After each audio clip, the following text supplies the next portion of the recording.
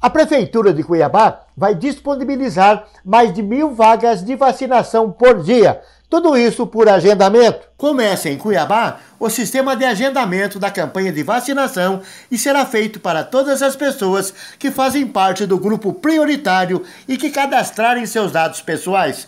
Com esse novo sistema, as pessoas que já têm os dados cadastrados entram em uma fila de espera virtual e o agendamento é gerado de acordo com a ordem cronológica e com a quantidade de vagas disponibilizadas por dia.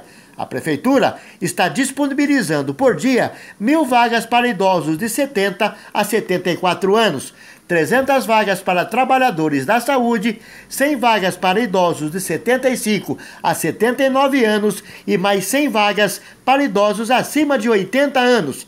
As pessoas que já estão cadastradas estão sendo agendadas pela ordem que estão na fila. Aqueles que não foram agendados para esta semana serão agendados para a próxima, enquanto tiverem doses para estes grupos. Adilson Túlio, para o Boletim 90 Segundos da TBO.